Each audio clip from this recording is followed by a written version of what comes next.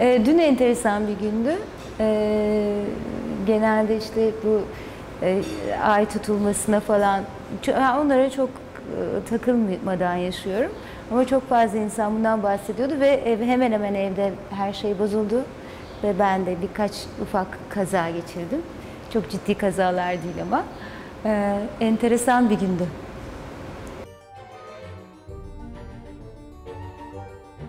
O birkaç tane ses egzersizim var.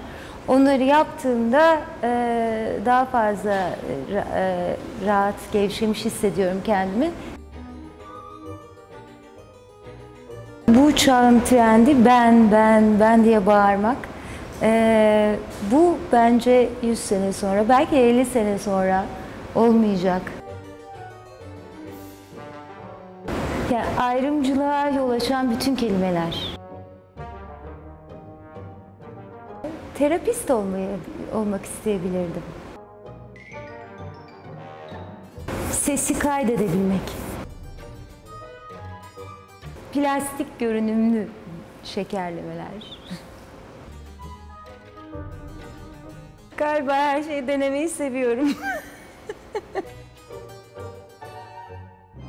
Firuze'yi, Firuze'yi ben yazmış olmak çok isterdim.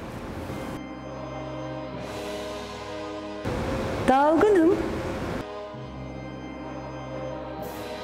Ee, üniversiteye giderken ee, anketörlük yapmıştım bir dönem. Böyle yarı yarıya inanıyorum diyebilirim.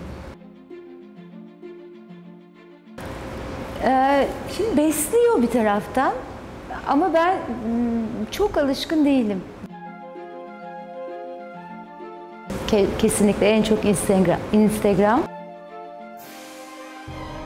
Ama ben sen bana ne sorardın? Aşık mısın? Keşke.